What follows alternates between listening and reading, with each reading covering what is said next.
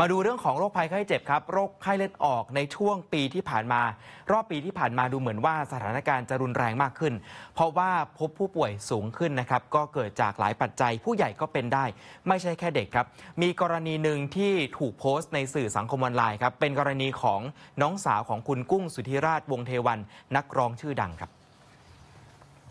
ดูโพสต์ในสื่อสังคมออนไลน์ของ คุณกุ้งสุทธิราชวงเทวันเป็นนักร้องนะครับ ก็โพสต์แจ้งข่าวผ่านทาง Facebook ว่าขณะนี้ วิพินวัดดีภูวะรุ่งเรืองฮิรัน หรือว่าวิรดาวงเทวันกำลังรักษาตัวอยู่ในโรงพยาบาลเนื่องจากป่วยไข้เลือดออกชนิดรุนแรง แล้วก็อาการวิกฤตยังไม่รู้สึกตัว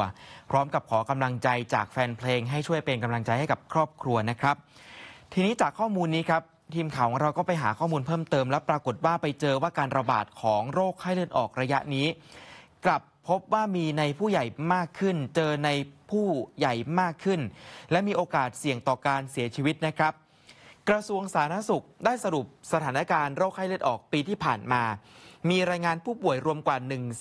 147,000 คน อัตราป่วย 222.91 ต่อประชากรแสนคน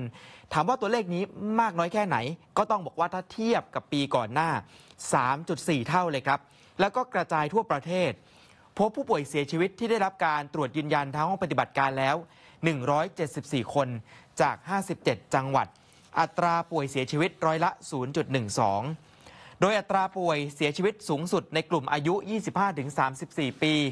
ส่วนใหญ่เป็นกลุ่มเสี่ยงที่มีโรคประจำตัวเรื้อรัง ภาวะอ้วน ผลตรวจทั้งห้องปฏิบัติการในผู้เสียชีวิต พบไวรัสเดงกีครับ ซึ่งเป็นไวรัสที่ก่อให้เกิดโรคนี้ ทั้ง 4 สายพันธุ์ สายพันธุ์ 2 มากที่สุด รองลงมาก็คือสายพันธุ์ 1 3 แล้วก็ 4 ตามลำดับนะครับ มาถึงอาการกันบ้างคุณผู้ชมอันนี้ต้องเน้นย้ำเพราะว่าบางทีมันอาจจะคล้ายกับโรคอื่น ใช่ แล้วทำให้เราอาจจะคิดว่าไม่ได้เป็นไข้เลือดออกอะนะครับ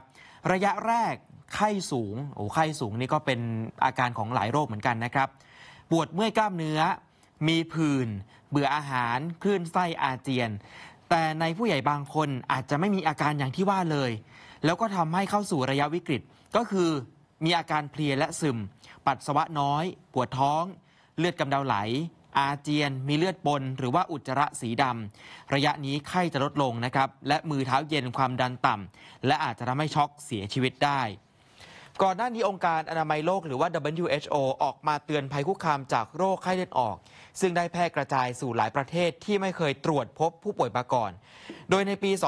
2566 ทั่วโลกมีผู้ป่วยโรคไข้เลือดออกกว่า 5 ล้านคน และเสียชีวิตจากโรคนี้มากกว่า 5,000 คนไปแล้ว ทางด้านของนายแพทย์จักรรัตน์พิทยาวงอานนท์ผู้อำนวยการกองระบาดวิทยาอธิบายว่าไข้เลือดออกจริง ๆ รักษาไม่ยาก แต่ปัจจัยสำคัญคือต้องรักษาให้ทันเวลาและดูแลอย่างใกล้ชิด เพราะปัจจุบันยังไม่มียารักษาโดยตรง ต้องดูแลแบบประคับประคอง ต้องดูความเข้มข้นของเลือดตลอดเวลา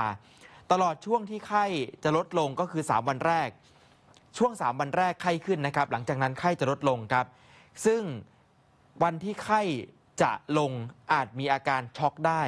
ต้องดูแลอย่างใกล้ชิด และเมื่อผู้ป่วยไข้เลือดออก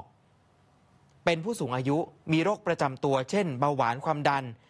ก็จะมีความยุ่งยากในการรักษามากกว่า คือมันอาจจะซับซ้อนในการรักษาครับครับอาการไข้เลือดออกต่างจากหวัดครับ ต่างจากไข้หวัดตรงที่มีอาการคล้ายๆ กับคลื่นไส้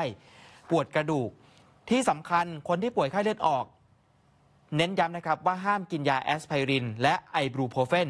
เนื่องจากจะเป็นกลุ่มยาที่กระตุ้นให้เกิดไข้เลือดออก เกิดเลือดออกได้ง่าย แล้วก็เสียชีวิตได้ และโรคไข้เลือดออกนั้น ยืนยันนะครับว่าไม่ใช่พบแค่ในเด็กเท่านั้น แต่ผู้ใหญ่ก็ป่วยเป็นโรคนี้ได้เช่นเดียวกันนะครับ